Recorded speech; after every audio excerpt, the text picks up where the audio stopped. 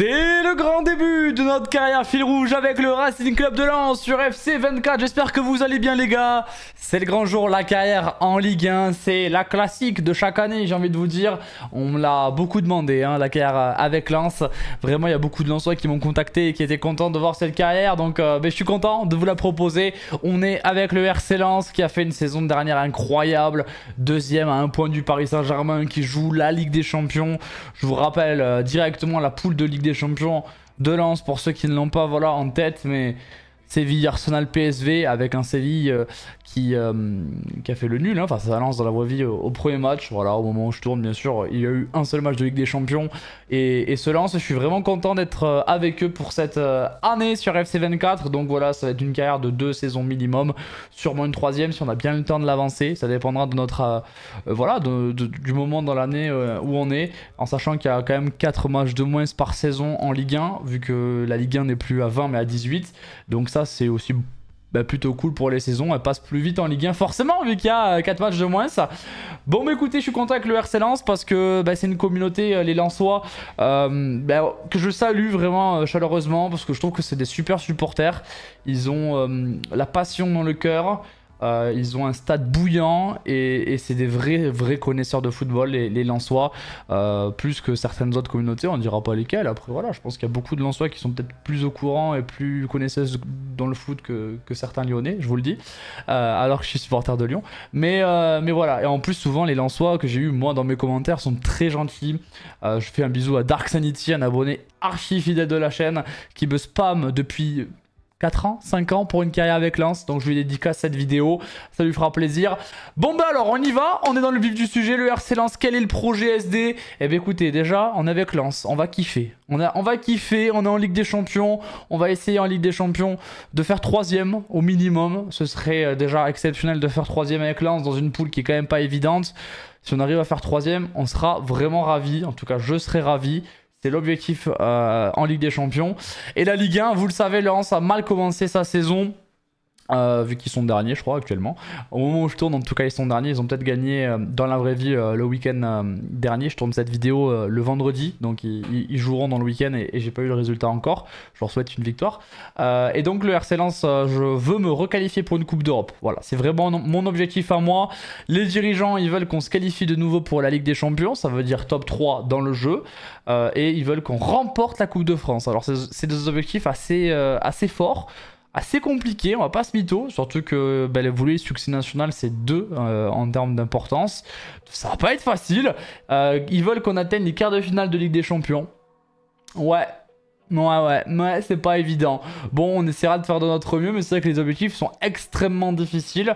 Ils veulent euh, qu'on obtienne une victoire. Bon, ça, ça devrait largement être faisable quand même. Et ils veulent qu'en deux, deux, années, on améliore le niveau d'expérience de l'équipe. Ok, bon. Et ils veulent qu'on signe un joueur de moins de 20 ans. Euh, pourquoi pas Et en deux saisons, améliorer votre club de 30% en vendant des joueurs et remportant des compétitions. Bon, ça on peut le faire, je pense que c'est largement possible. Bon, ça va être compliqué hein, de faire tous ces, objectifs-là dans cette année. On verra ce qu'on peut faire, mais ça va être compliqué. Cette équipe lançoise, je vous la présente. Alors pour l'instant, le dispositif que j'ai mis, c'est ce 5-3-2. 5-2-1-2, vous pouvez l'appeler comme vous voulez. Euh, parce que sinon, l'autre dispositif, c'était plutôt avec des il n'y a pas de 10 et deux ailiers. Moi, je suis pas trop fan. Je trouve qu'à Lens, au final, il n'y a pas beaucoup d'ailiers euh, réellement de métier.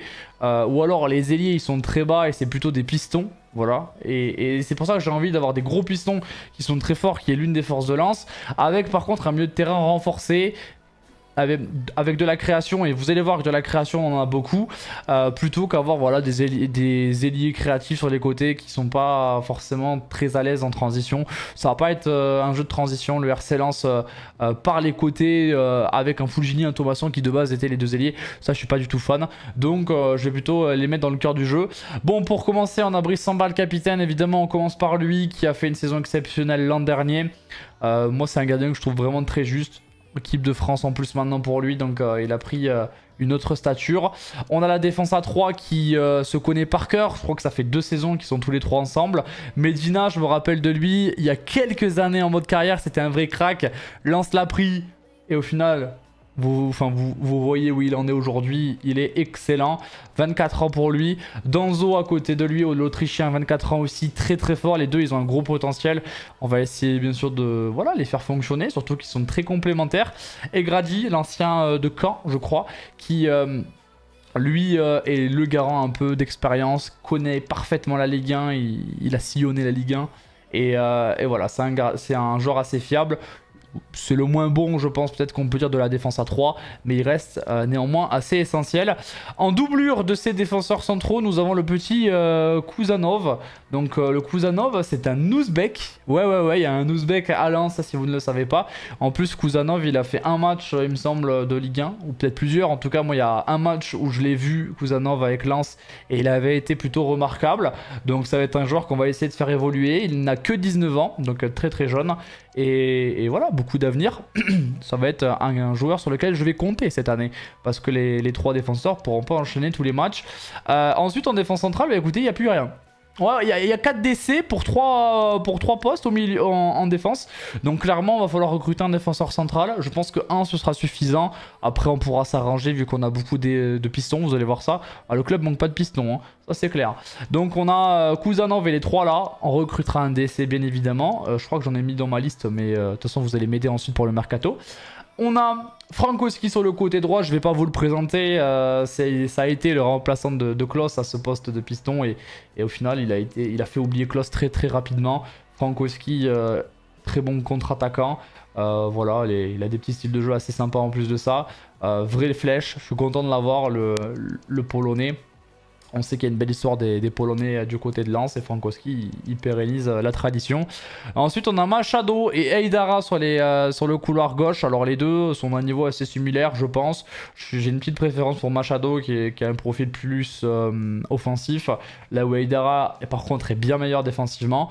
les deux au final sont assez sympas parce qu'ils peuvent être interchangés selon le match, selon l'adversité. Ça c'est plutôt pas mal. Après les deux sont assez... Enfin ils sont expérimentés plus plus, ils ont 29 et 30 ans, donc c'est pas des joueurs qui vont exploser, ça c'est clair. Euh, en ce qui concerne les, les pistons remplaçants, je vous, je vous en parle maintenant parce qu'il y en a énormément, donc on a donc Eidara que j'ai évoqué, à droite il y a Aguilar qui a été recruté donc de Monaco, qui, euh, bon à la base c'est un très très bon joueur quand même, Aguilar ça a été un, joueur avec de, belles références, euh, voilà, Aguilar c'est pas mal. Euh, voilà, qui avait, joué à Montpellier, je crois aussi. Euh, on a Jimmy Cabot qui, je crois, dans la vraie vie est blessé. Alors, Jimmy Cabot, il a beaucoup joué sur plusieurs rôles. Au final, moi, je pense que je vais le réaxer plus haut sur le terrain. Euh, ça pourra être un joueur qui pourra toujours dépanner et jouer sur le, couloir droit. Maintenant, Cabot, je vais plutôt l'utiliser bien plus haut et, ce sera bien plus adapté. En fait, je vais lui redonner plus le poste qu'il avait avant. Vu qu'ils ont recruté Aguilar, il est en trop dans cette équipe si on veut le garder dans ce, spot, dans ce poste pardon, stricto sensu de, piston droit. On a Mawasa également qui est un MG mais qui est considéré plutôt comme un piston gauche. Alors lui ça a été un prêt un peu, peu à la toute fin j'ai l'impression, euh, voilà, au cas où. Euh, Mawasa moi c'est un joueur que je, suivais à l'époque, euh, il était où J'ai envie de dire Rennes mais je suis pas sûr. Parce que il a fait beaucoup de clubs en peu de temps finalement. Il a fait un prêt, je crois, aussi en Ligue 1. Je crois que c'était à Montpellier. Euh, et, il a 24 ans toujours, donc il est très jeune. C'est un joueur qui, est quand même connu depuis un moment dans, le milieu. Et au final, euh, ben, moi, c'est un joueur qui m'avait beaucoup impressionné. pendant un temps, je me disais pourquoi pas à Lyon en poste de latéral gauche. Mais il faut avouer aussi qu'il a déçu et qu'il n'est pas toujours très régulier. Après, il a des stats très intéressantes. C'est un joueur qui est rapide euh, normalement. Voilà, grosse accélération. Un peu moins de vitesse, mais grosse accel. Donc sur les premiers mètres, ça peut être sympa. On a 4 joueurs sur ce poste de latéral. Bon, Mawasa est prêté. On verra s'il a une utilité. Peut-être qu'on pourra le faire jouer un peu plus haut. Je sais pas trop quoi en faire de Mawasa, donc franchement les gars, je compte sur vous hein, dans les commentaires à la fois pour me conseiller sur les recrues, pour m'aiguiller aussi un petit peu sur des... Enfin me préciser certaines choses. Mawasa, c'est quoi le projet? Les Lensois qui suivent le club, euh, n'hésitez pas à me faire des pavés, moi j'adore vous lire. Donc faites-moi des pavés, expliquez-moi le projet avec Mawasa. Qu'est-ce que je suis censé en faire? Comment, comment d'après vous, je devrais l'utiliser? Qu'est-ce qu'on fait? Où est-ce qu'on va finalement hein? Et puis euh, bien sûr les gars je vous l'ai pas dit Si vous aimez la vidéo je vous invite à liker Objectif de 2000 pouces bleus pour euh, le début de cette carrière fil rouge. C'est largement abordable. Ça soutient la chaîne, donc on n'hésite pas. Et l'abonnement, bien évidemment, on a fêté les 133 000 abonnés. Je tiens à vous remercier. N'hésitez pas à, vous abonner pour qu'on atteigne vite les 134 000. Et je pense qu'on peut vite les atteindre. Hein. Donc n'hésitez pas. Et, euh, et, vous pouvez suivre les réseaux, vous connaissez, je partage l'actu. Euh, voilà, la pub est faite, c'est bien aisé, bravo, tu es un bon youtubeur. Donc bref, ma ça, je connais pas le projet, donc vous me direz en commentaire un peu ce qu'il en est, parce que moi je ne sais pas, très honnêtement je ne sais pas. Euh, voilà, ça c'est tout pour la défense, on va monter un peu plus haut. Bon, j'ai pas évoqué Samba, il y a Leca, Farines, Pandore. Euh, c'est la doublure un peu historique. Farinez avait beaucoup déçu, c'est pour ça qu'ils étaient euh, partis sur euh, Samba. On va sûrement devoir les prêter Farinez et Pandore dans cette saison. On est en milieu de terrain, en milieu, on va dire central, défensif, mais plutôt milieu. Abdul Samed, qui était à Clermont à l'époque et qui euh, avait fait une première belle année euh, avec Lens. Là, il reprend un peu moins bien de ce que j'en lis euh, d'un peu des Lensois. C'est un peu moins bon. C'est pas l'Abdoul Samed euh, qui jouait très bien avec Seko Fofana. voilà, il, il, est un peu plus en difficulté. Maintenant, ça reste un joueur très intéressant. statistiquement, il est très fort, infatigable en, style de jeu. et je pense que ça va et ça doit être une pièce centrale de notre dispositif du milieu de terrain. Si lui, il n'est pas bon, on va avoir du mal défensivement à mon avis. Donc Abdul Samed va être essentiel dans l'équipe. On a euh, le petit Diouf, Andy Diouf à côté. Moi j'aime beaucoup le joueur. Alors il doit remplacer Seko Fofana. Évidemment qu'il n'a pas les épaules mais personne n'aurait enfin n'a les épaules pour remplacer un joueur comme Seko Fofana. Moi je l'ai vraiment trouvé très intéressant sur pas mal de matchs de lance que j'ai vu. Et j'ai vu pas mal de matchs de lance euh, que ce soit entièrement ou en partie euh, parce que je m'intéresse vu que je fais cette carrière. Et, et Diouf moi je trouve quand même qu'il a quelque chose. Tu, sens que ça va être un bon joueur. Après il est très très jeune. 20 ans seulement. Il est de, de Rennes à la base. Et, c'est un joueur euh, qui est pas prêt encore. Il est pas il est pas fini. C'est pas un joueur fini. C'est normal. Il a 20 ans.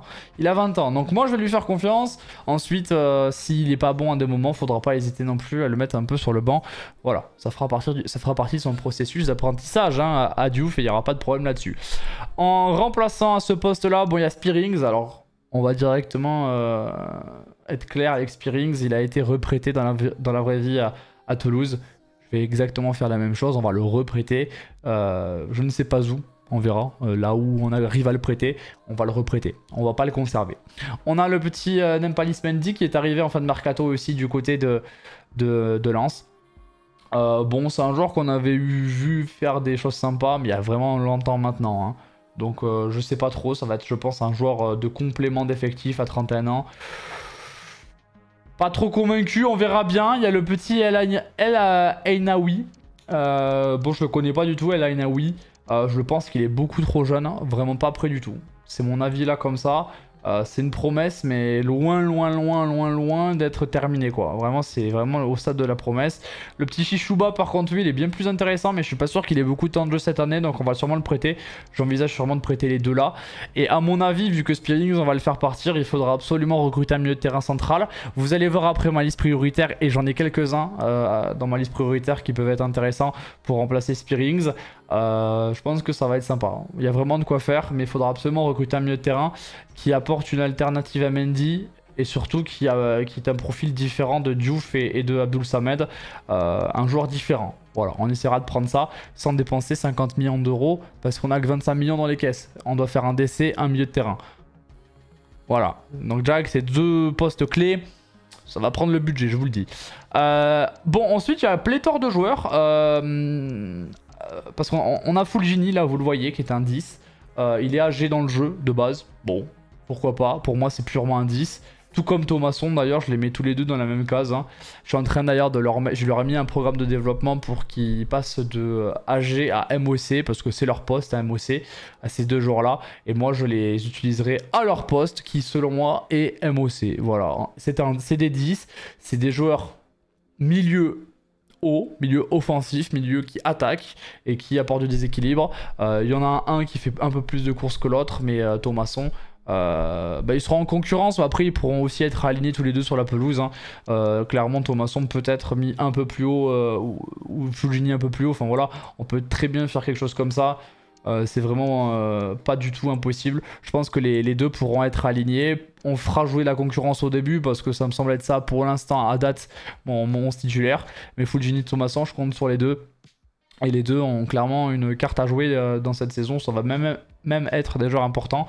Et donc je change leur programme de développement. Il y a beaucoup de joueurs à qui je change le programme de développement. C'est les cas de Costa également que je suis en train de passer en 10. Les cas de Cortés que je suis en train de passer en 10. Parce que c'est bien beau d'avoir des ailiers, mais ils n'ont pas les qualités, je trouve, pour être des très bons ailiers. Costa, c'est un joueur très intéressant. Euh, qui est un vrai dribbleur, mais il est pas il n'a pas le gaz suffisant pour venir percuter sur un couloir. C'est pour ça qu'en fait, je le trouve pas très intéressant sur ces postes d'ailier. C'est la même chose pour le petit Baldé que je, que je, suis en train de changer de poste. Et c'est même la même chose de ce petit Bonté que je suis en train de changer de poste. Vraiment, je vous le dis, je suis tous en train de les passer en MOC.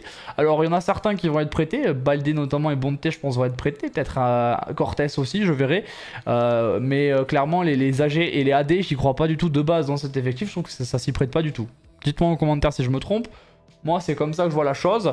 Donc, euh, Fulgini, on aura euh, bien d'autres joueurs. On aura Costa, on aura Cortés, notamment, ensuite en 10. Voilà, c'est en tout cas comme ça que je vois la chose. Et puis ensuite, l'attaque, bon, Eliwai, inévitable, il a le playstyle plus acrobatique. Alors ça c'est pas mal d'avoir un joueur qui a un playstyle plus, c'est quand même assez rare dans une équipe qui a des joueurs euh, aux alentours de 78 de général. Donc ça c'est vraiment très intéressant. Wai ça va être le crack forcément hein, le, plus gros achat de l'histoire de Lance, si je me trompe pas.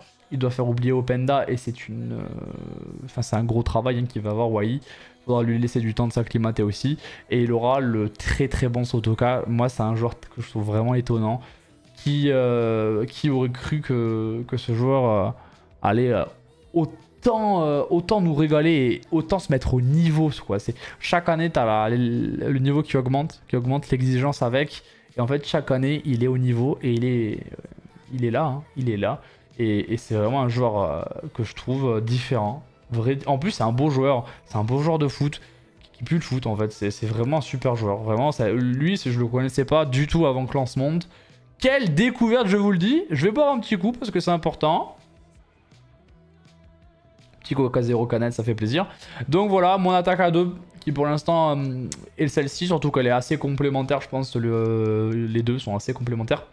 On a le petit Saïd, euh, l'ancien Toulousain, qui mettait pas un pied de volante à Toulouse.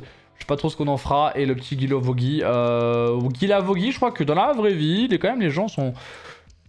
Les lanceurs sont optimistes. J'en ai vu certains sur Twitter un petit peu optimistes avec Gila Vogui, euh, qui, qui, sort de Ligue 2. Je crois qu'il était au Paris FC. J'ai fait sûrement plein d'erreurs, vous me corrigerez en toute bienveillance, je l'espère. Euh, Vogui, voilà, qui, euh, qui est un vrai joueur euh, qui, a du coffre et qui attaque. Moi, j'aime bien ce, joueur-là, je le trouve intéressant, c'est un joueur puissant. Euh, voilà, c'est un vrai, c'est un athlète. Moi, j'aime bien. C'est intéressant parce qu'au final, c'est pas trop ce qu'on a. Alors, Wai qui, qui, est un, vrai puncher. J'aime bien les appeler comme ça. C'est ce profil-là, puncher, Joueur qui va dans les espaces, qui dévore ça, qui fait penser un peu à Openda. Euh, là où Sotoka, lui, c'est pas un pivot pur, mais c'est un joueur qui est capable d'être euh, modulable, on va dire. Il peut même jouer euh, piston droit. Je sais que Lance, des fois, l'a fait jouer à piston droit.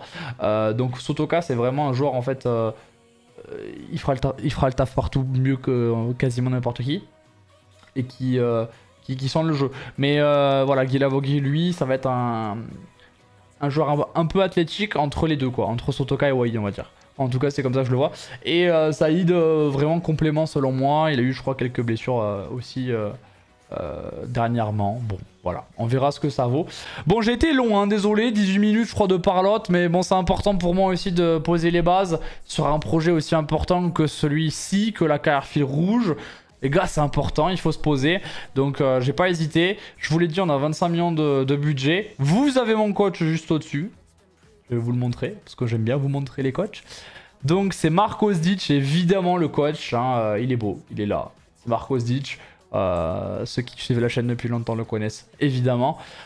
au niveau du, du staff, sachez que j'en ai mis en place voilà, des, genres des, entraîneurs. donc, on a, un, on a un, staff assez, assez complet. Il m'en reste deux. J'attends qu'il y en ait des plus intéressants qui arrivent. Voilà, quand il y en aura des plus intéressants, je les ajouterai à l'équipe. Euh, mais pour l'instant, on a, on a, suffisamment de, mecs, c'est plutôt pas mal. Euh, voilà. Euh, au niveau des transferts, alors je vous montre ça maintenant. Comme ça, on en parle. J'ai mis quelques joueurs sur la liste de prêt. Il y en a quand même pas mal. Euh, c'est des joueurs qui n'auront pas temps de jeu, je pense, chez nous ou pas assez. Et j'ai pas envie de bloquer leur potentiel, donc autant les prêter. Et on a une toute petite liste de transferts. Alors vraiment, c'est une ébauche. N'hésitez pas à voilà, rendre cette liste plus grande et surtout me donner des idées avec des, explications. Moi, j'ai mis sur ma liste Enzo Loyodis. Hein, vous vous en souvenez sûrement, il était en Ligue 1 il y a un moment et je crois que c'était à, Dijon. Crois. Il y a beaucoup d'imprécisions, mais c'est comme ça, hein, c'est la vie. et c'est un joueur qui arrive vraiment maturité à Las Palmas, qui, qui ça y est, je pense, il, il est au niveau de euh, d'exigence de la Ligue 1. Euh, il était trop jeune à l'époque pour vraiment percer. Il a bien fait de partir en Espagne. Je pense que c'est un championnat qu'il a bien réussi et qui jouait bien sur ses qualités techniques. Vous le voyez, il a playstyle plus résistance au pressing, ce qui est quand même pas négligeable. Euh, et si on joue des équipes très compliquées qui nous mettent un contre-pressing fort, ça peut être un joueur intéressant dans un profil différent. C'est ça qui est intéressant. Je vous ai dit, je voulais un profil différent. Je pense que le U10 est complètement différent de ce que j'ai au milieu de terrain. Il est français en plus de ça. Moi, je pense qu'il coche beaucoup de cases. Vous me direz ça en commentaire. Ensuite, je mets le petit Tom Groves, euh, donc de Mainz, qui a 22 ans, qui est à Mainz depuis un moment. Euh, lui, tacle glissé infatigable. Alors, c'est un profil un peu plus défensif, mais qui a quand même une bonne relance. Euh, et physiquement, c'est un monstre. Alors, on n'a pas encore sa note et ses stats, mais je vous le dis, physiquement, c'est quelque chose. C'est un joueur intéressant. On a ensuite le luxembourgeois Barrero Martins. Luxembourgeois, je trouve ça plutôt pas mal au vu de la proximité entre Lens et, et le Luxembourg, qui est pas non plus trop loin par rapport à un projet avec, euh, euh, Bordeaux. Euh, voilà, donc lui, il a style de jeu contre, tacle glissé infatigable. Donc lui aussi, c'est un vrai travailleur au milieu de terrain qui techniquement n'est pas mal à l'aise et maladroit. et puis ensuite, mentalement, physiquement, il, a lui aussi de très très bonnes caractéristiques. J'ai l'impression en plus qu'il est modélisé et que Groves aussi. Donc des joueurs modélisés, c'est toujours un peu plus sympa. Je pense que ça peut être deux joueurs très intéressants.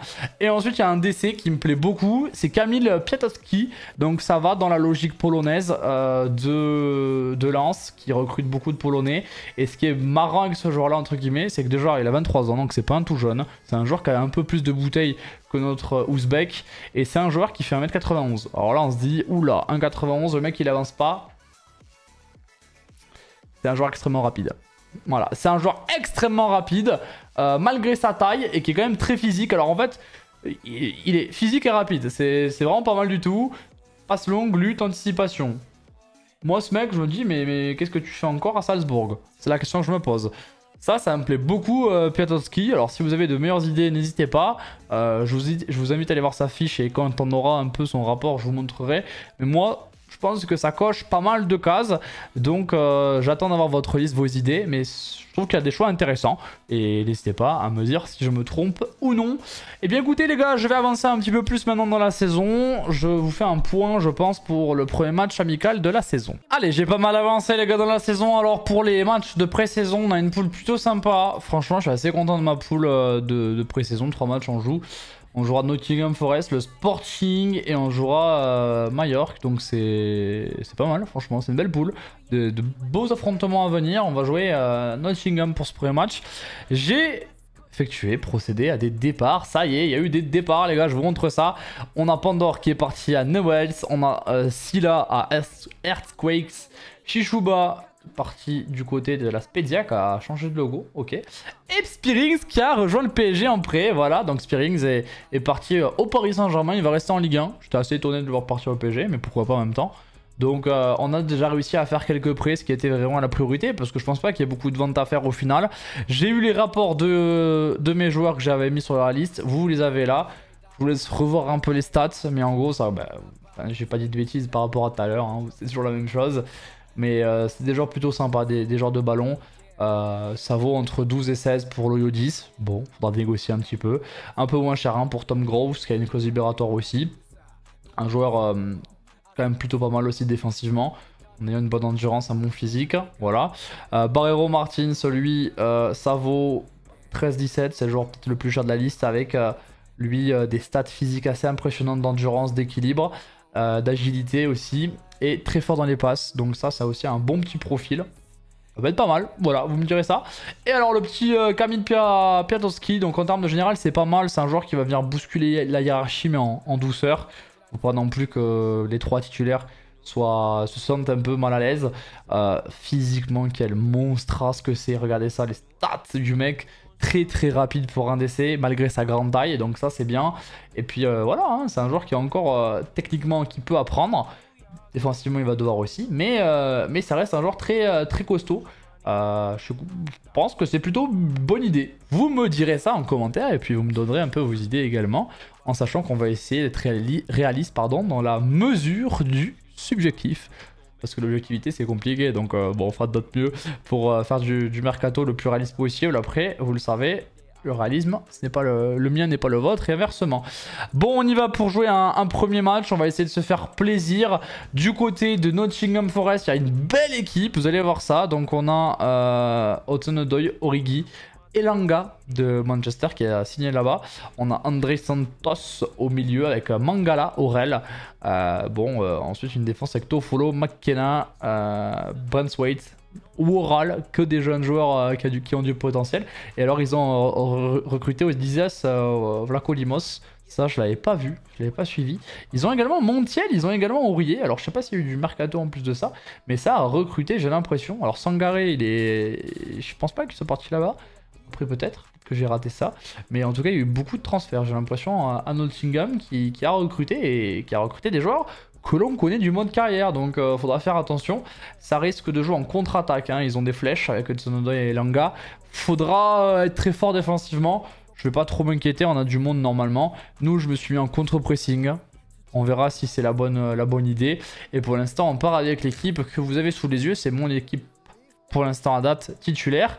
On y va les gars à Old Trafford pour ce premier match de préparation. Si vous voulez vous procurer FC24 à bas prix, ça se passe sur Instant Gaming, le lien est en description. Vous payez le jeu moins de 50 euros sur la version standard on n'hésite pas. Vous pouvez également précommander Football Manager 2024 dès maintenant à moins de 40 euros. Ça vaut le coup à ce prix-là. N'hésitez pas, franchement, c'est juste des économies. Et si vous voulez FC24 ou tout autre jeu sur PlayStation, c'est simple. Vous n'avez qu'à acheter une carte PSN d'un montant de votre choix. Sachez que les cartes à chaque fois sont avec des réductions de environ 10, 12, 13%. Ça vous permet d'acheter un jeu qui vaut 60 euros à finalement que 52 euros par exemple.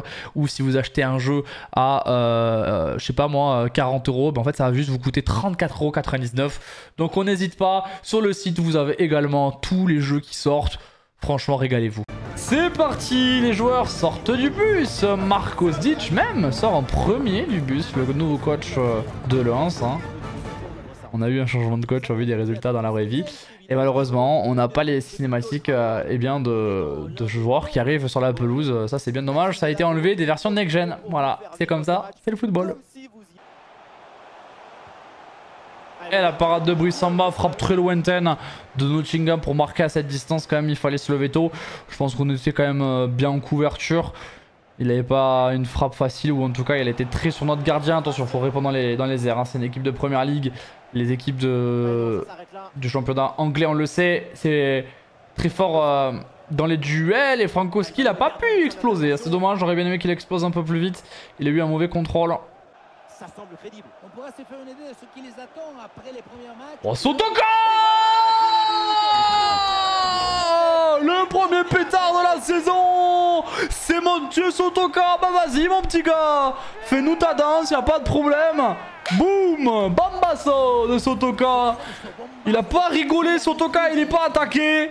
À 20 mètres du but La frappe puissante. Le gardien je pense c'est un peu, ouais, il est un peu masqué, la trajectoire un peu changeante au dernier moment. Sotoka, il a le droit de danser. Le boulet de canon à 20, à 20 mètres. Merci, merci. Florian Sotoka, premier buteur de cette carrière. Voilà, de la personnalité, c'est ça qu'on aime chez lui. Il est seul. Sotoka, il est seul. Et Sotoka, il est tout seul pour son premier doublé avec nous. Florian Sotoka, magnifiquement resservi. La petite frappe, bien placée, pas très puissante, ça suffit. Je crois que c'est Abdul Samed à la passe. Contrôle frappe, hein. il va pas tergiverser. Le sens du but, Sotoka, lui, il va pas perdre de points en tout cas dans ce début de, saison, de pré-saison. 1-0, 2-0 les gars. Magnifique Sotoka. Euh, merci, merci. Il, me régale et on est en train de malmener cette équipe de Nottingham.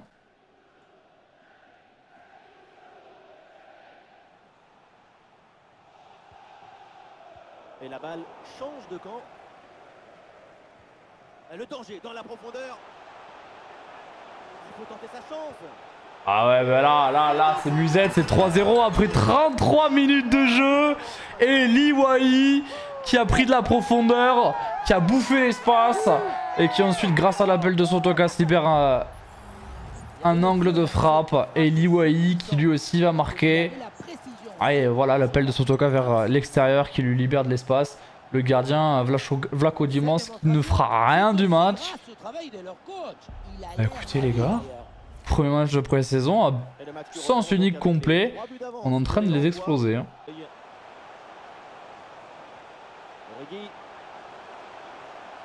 Oh, Divock Origi et Danso ensuite qui va dégager euh, sans trop de, risques. Hein. Heureusement qu'il est là. Et là par contre euh, on a de l'espace et Frankowski il aime ça? Alors par contre là il n'y a pas grand monde au, à la retombée d'un hypothétique centre. On a quand même réussi à converger assez vite. Et c'est pas terminé si. Pourquoi pas une occasion à venir là? Oui, pourquoi pas dans le dos de la défense. Oh là là là là, mais ça continue. Frankowski trouvé par Fulgini? Et la dernière occasion du match, ça sera ce petit, enfin de cette première mi-temps, pardon, ce sera ce petit corner. Alors bon, les corners pour l'instant, je sais pas trop comment on veut, on veut les taper. Penalty. Penalty. Je crois que c'est Warhol, ouais, le capitaine qui qui fait faute.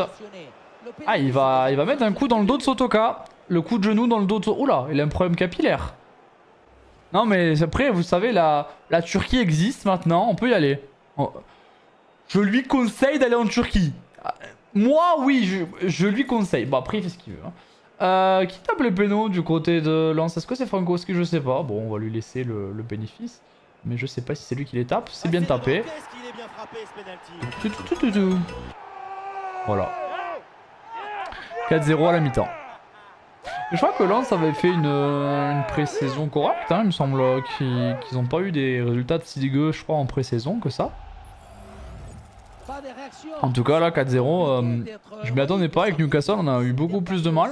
Si vous n'avez pas vu le premier épisode avec Newcastle, je vous invite à le voir.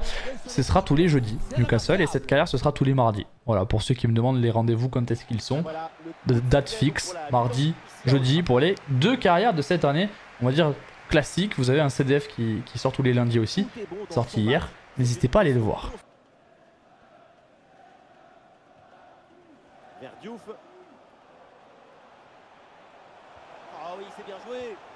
Oh là là, la puchenette de Wai. On va continuer à produire. Hein. Nous, on est là pour se préparer pour la Ligue 1, faire un meilleur début de saison que dans la vraie vie.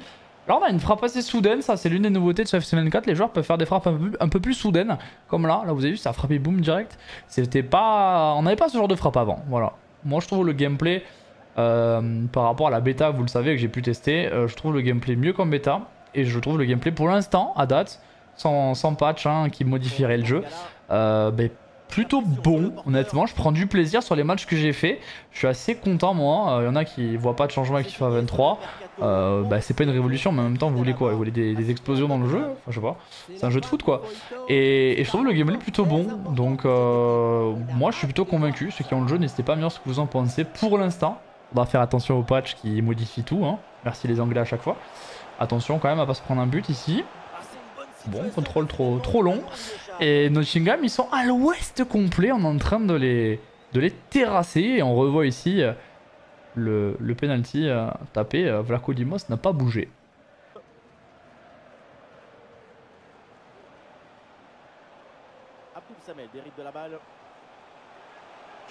Ouais, Diouf, il y va Diouf, très belle action. Magnifique, Diouf. Je trouvais timide en première mi-temps par rapport à l'ensemble de l'équipe qui était vraiment de très haut niveau. Là, il a montré un peu plus de personnalité, un peu comme dans la vraie vie. Il nous a fait une passe euh, un peu fantasque mais qui était efficace. Ensuite, là, de la percussion. On va lui demander ça, hein, ça va être le mieux. Euh, pas box to box parce qu'on veut pas qu'il soit si souvent que ça non plus dans la surface. C'est pas à lui d'y aller tout le temps. Mais qui, n'hésite pas quand même à, se proposer de temps à autre. Voilà. Donc de temps à autre, il a un petit dépassement de fonction. Surtout face au, au bloc bas.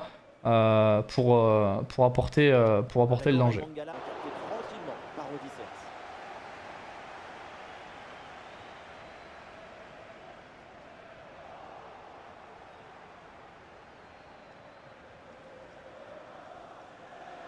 Oh, Sotoka Thomasson Quelle passe de Thomasson Oh là là Et ça c'est grâce au playstyle, voilà. Merci les playstyles. Ça moi j'adore les playstyles, on pourra me dire ce qu'on veut. Ça c'est grâce au playstyle. Et la frappe. Le triplé de Sotoka. Bon, la volée elle est magnifique. Hein. Oh là là là là, mais quel bijou Les gars, faut que voilà, faut qu'on en parle. Moi, les playstyles, dès la première minute, j'étais content. Euh, la passe incisive là que vous voyez, c'est grâce au playstyle. C'est pour ça que j'ai fait ce petit par-dessus. Euh, c'est parce que j'ai passe incisive, passe en profondeur en plus de ça. Donc les deux couplets, ça m'a fait cette passe qui était juste devant Woral. Et Sotoka, bon, euh, juste il est trop fort. Il hein. n'y a, pas de, a pas de playstyle, juste c'est le playstyle, je suis trop fort. Voilà, c'est un playstyle très particulier qui s'appelle Florian Sotoka. Triplé, 5-0. Et pour la dernière occasion, on a détruit Nottingham Forest dans ce match. C'était même pas un match, c'était c'était horrible pour eux. Bon voilà, on peut mettre la chanson. Hein.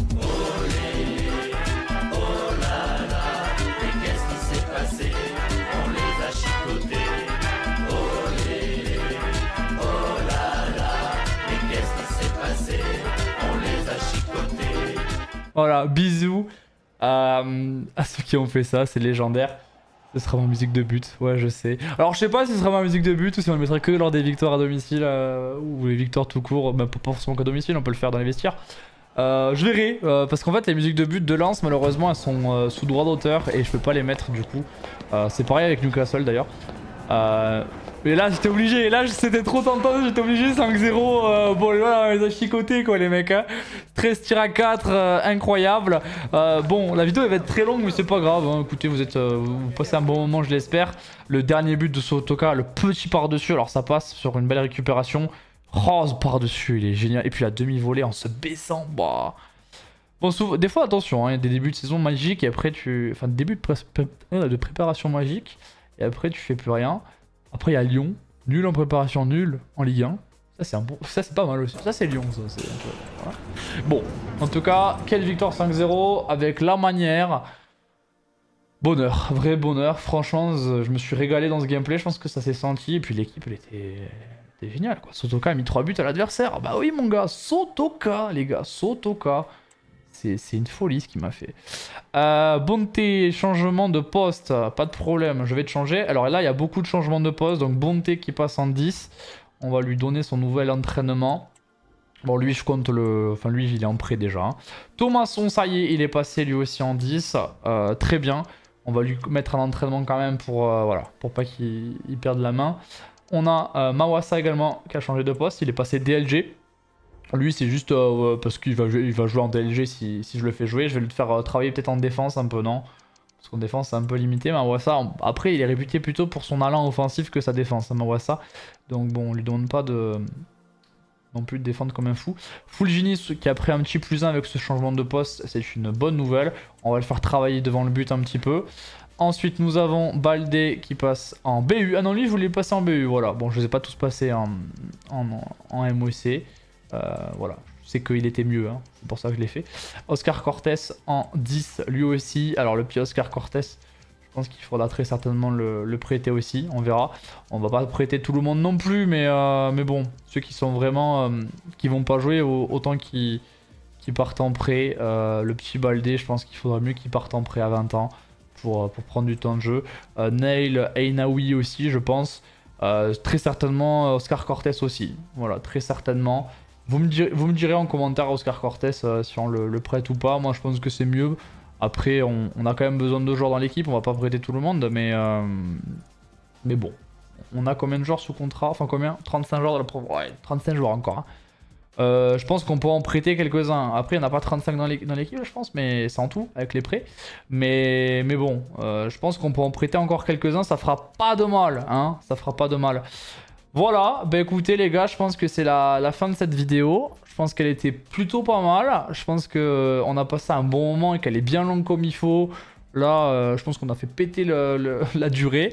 Donc, euh, encore une fois, 2000 pouces bleus pour soutenir la chaîne. C'est vraiment pas grand chose que je vous demande. Vous avez fait tellement plus dans l'histoire de la chaîne que vous allez le faire. Mais Oscar Cortés, je l'ai prêté déjà.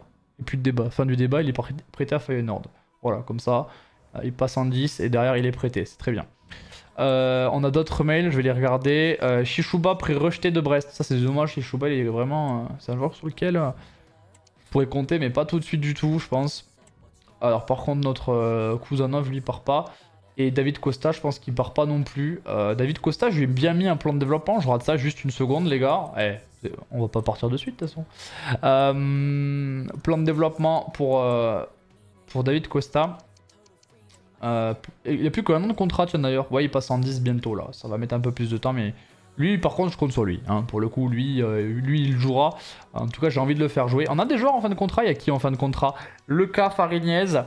Ok. Je pense compter ni sur l'un ni sur l'autre. Au moins, c'est clair. Le petit Brahima Baldé, le petit Nolan Bonte et David Costa. Euh, bon, on va très certainement les prolonger quand même. Hein. Ok, on va très certainement les prolonger. Euh, bon, il y aura jour de match, évidemment, on va jouer des matchs encore, ce sera pas fini. Et ça, ce sera la fois prochaine, les gars, dans une semaine.